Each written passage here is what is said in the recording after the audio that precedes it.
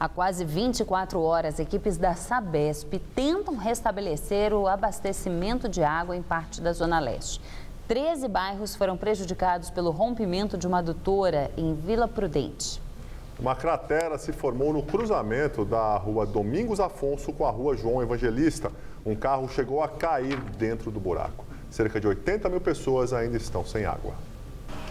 O dono desta loja de tintas calcula que o prejuízo com a enxurrada tenha sido de quase 5 mil reais. Grande perca foi na parte elétrica né, e materiais de pintura, tintas e acessórios de pintura, entre eles pincel, rolo e parte elétrica, parte de tomadas, interruptores. Esse foi a maior perca nossa. A casa de Dona Selma fica a menos de 50 metros da adutora. O barulho assustou toda a vizinhança. Eu pensei que estava chovendo com o barulho.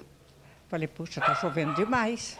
Eu saí, a água já estava vindo para cá, a gente, sabe, já foi aquele sufoco, fiquei muito nervosa.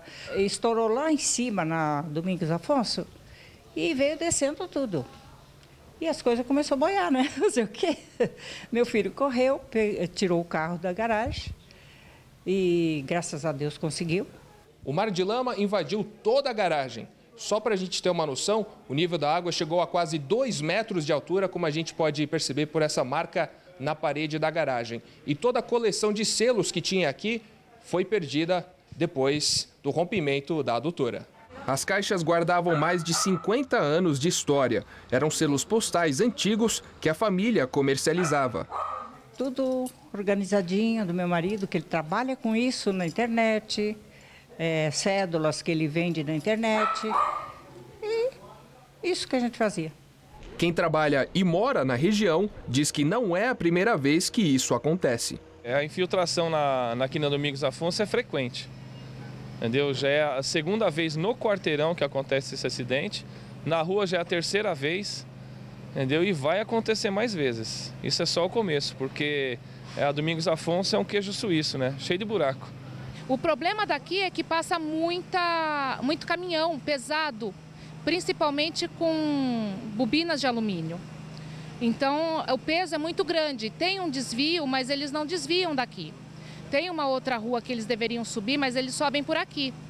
E aí vai rompendo, acaba ficando muito peso e acaba rompendo a adutora.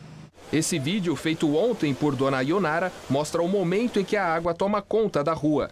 Eram sete da noite. As equipes da Sabesp tentaram controlar o vazamento durante todo o dia. Antes de trocar a adutora, é preciso colocar vigas de aço para evitar que a terra deslize. A previsão é de que a tubulação seja trocada ainda esta noite. De acordo com a Sabesp, os serviços de reparo devem ser concluídos até meia-noite. Já o abastecimento deve voltar ao normal durante a madrugada. A companhia também informou que está prestando assistência às pessoas afetadas e que vai fazer o ressarcimento dos prejuízos.